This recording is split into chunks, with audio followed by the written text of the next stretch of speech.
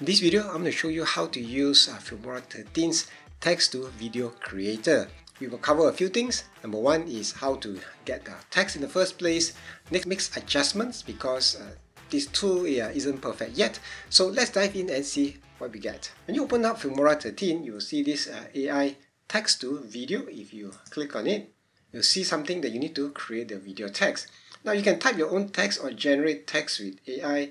So if you want to generate by AI, you can click on this and you can give it an uh, idea what you want to talk about. So let's say I'm going to talk about using AI to have a new YouTube intro and I can create some uh, details. Now I'm not going to cover this uh, too much but if you want to use this feature you can use it here or you can also go to this section which is the AI copywriting to do the similar thing.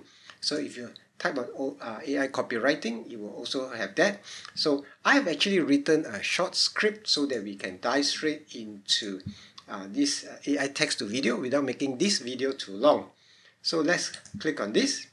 Now this is my uh, text that I've created and let's assume that I'm creating a new a podcast on my channel and I'm just going to copy this and paste it into the video text and I am going to space it up slightly you can select the English voice here. Uh, you can select uh, UK if you prefer. I'm going to stick with in uh, US English. Let's have a white screen. Uh, and you can select the voice. And let's say I want to select Jenny, right? You can listen to the voice and see which one you prefer. Okay, so let's select Jenny and let's click text to video. Now it will take some time for Filmora to generate this, so I'm going to pause the video and we're going to come back later. So now that uh, Filmora has created this, let's take a look at what we have. Now first thing you notice that Filmora has actually created the uh, subtitles here as well, so it is uh, something that you don't have to do again. But let's quickly scroll through and see what we have. Hello and welcome to Video Matters, a podcast where we talk about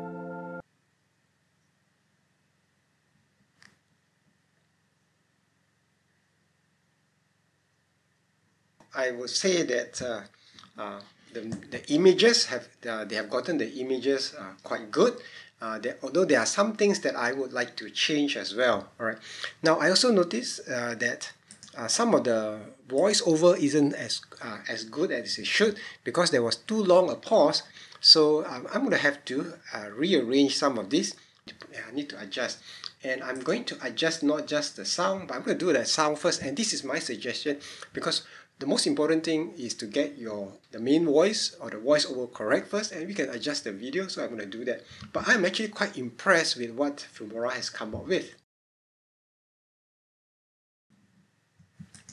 And so on and so forth. Now uh, this has actually given me quite a good idea and I'm, gonna, I'm not to edit the entire video in front, it will take too long. But let's say, for example, if you find some of the images are not suitable, uh, you can actually replace them.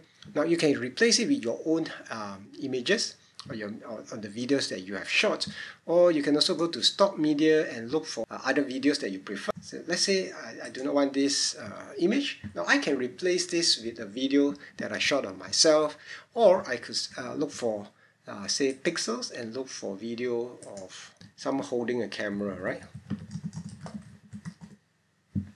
Right, and you can just replace it. Okay I can use this although it's not as as good as this. Let's just use this. I am going to place this key project settings. Let's not match it to media. Okay.